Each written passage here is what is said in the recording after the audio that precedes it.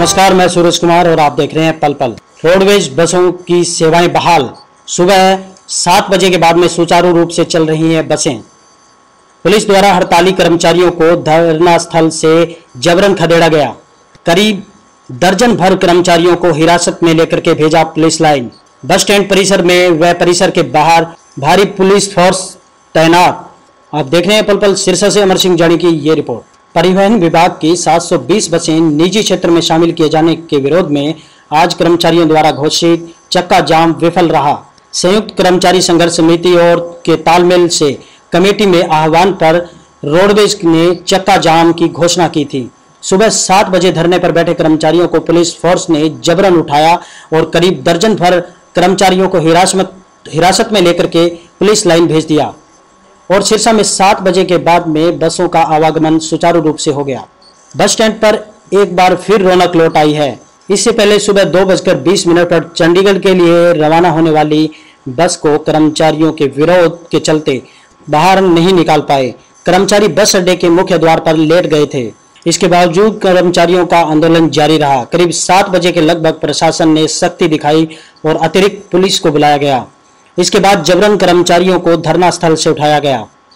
Sirsa roadways के महाप्रबंधक are कौशल ने बताया कि उनकी ओर से रोडवेज़ चालकों की तैनाती की गई थी। पुलिस प्रशासन के सहयोग से कर्मचारियों को धरना स्थल से खदेड़ दिया गया। इसके बाद सुबह सात बजे के बाद में बसों का सुचारू रूप से शुरू कर दिया गया था। उन्होंने कहा कि छह बज के तीस मिनट से पहले कुछ टाइम मिस हो गए थे, कुछ गाड़ियाँ मिस हो गई थी। उन्होंने कहा कि पुलिस फोर्स तैनात कर दी गई। और बसों के आवागमन को शुरू कर दिया गया आप देख रहे हैं पल पल की एक खास रिपोर्ट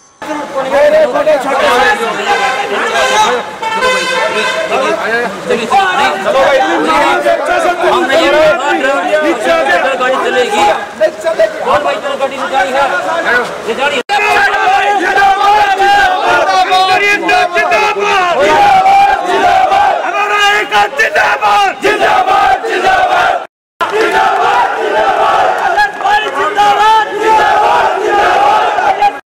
जिंदाबाद जिंदाबाद जिंदाबाद कर्मचारी एकता जिंदाबाद जिंदाबाद जिंदाबाद कर्मचारी एकता जिंदाबाद सफ़र शुरू हुआ है ड्राइवर का आजा बेटे आजा इधर आज हमने जो चक्का जाम किया है, वो सरकार की हठ धर्मिता और रोडवेज़ विभाग को ठेके पर देने के लिए रोडवेज़ का कर्मचारी आज बिल्कुल अपने गेटों पर तैनात है।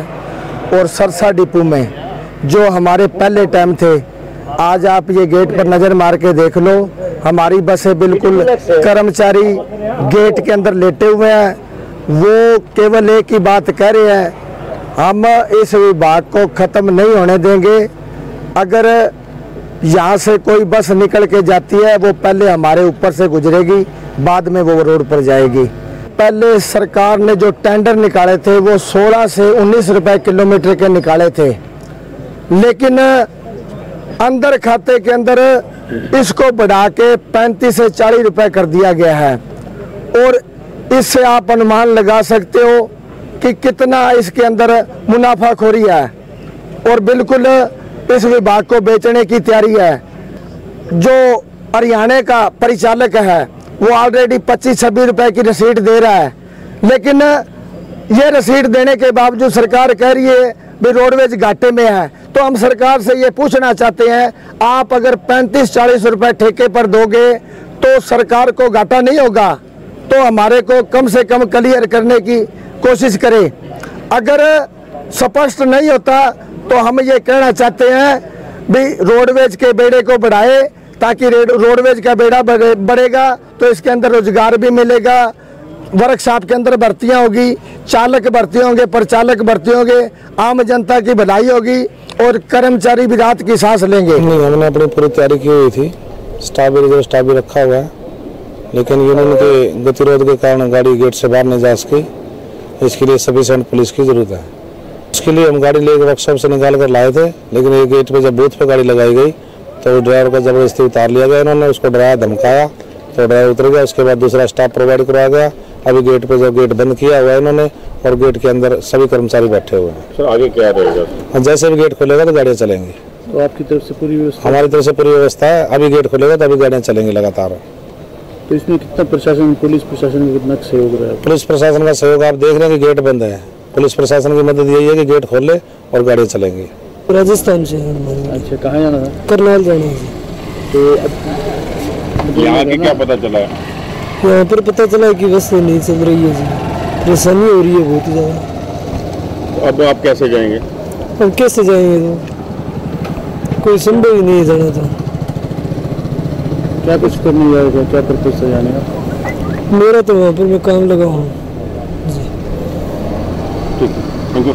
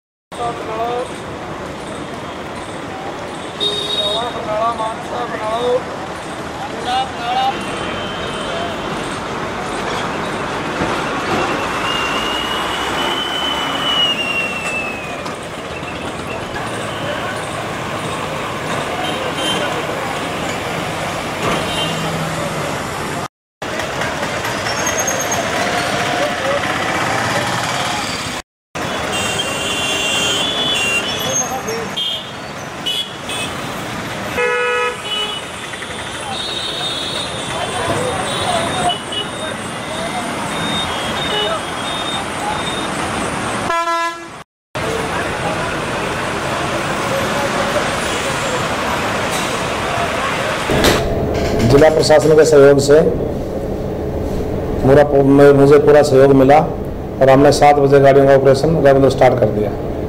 उससे पहले हमने कोशिश की, लेकिन यूनियन के पदाधिकारियों ने आके उसको रोका, गाड़ियों को रोका। गेट पे गाड़ी पहुँच गई थी, वहाँ पे उस गाड़ी के आगे बैठ गए उन्होंने गेट को रोका। पुलिस ने हमारा पूरा सहयोग किया हटाने के लिए, लेकिन वो गाड़ी के आगे लेट गए तो उसको उनके ऊपर से गाड़ी नहीं चलाई जा सकती थी। लेकिन अभी फोर्स और मंगवाकर और डीएसपी तोमर की देख रेख में पूरा उनको राउंड अप किया गया। उसके बाद गाड़ी स्मूथली चल रही है। हाँ मेरे पास हिसार का भी एडिशनल चार्ज है। वहाँ भी प्रॉब्लम क्रिएट हो रही थी। पूरा हरियाणा ऑपरेशन में आ गया। जब हिसार में भी राउंड अप करवाया गया अभी तो हिसार में भी स्मूथ फंक्शनिंग शुरू हो गई है।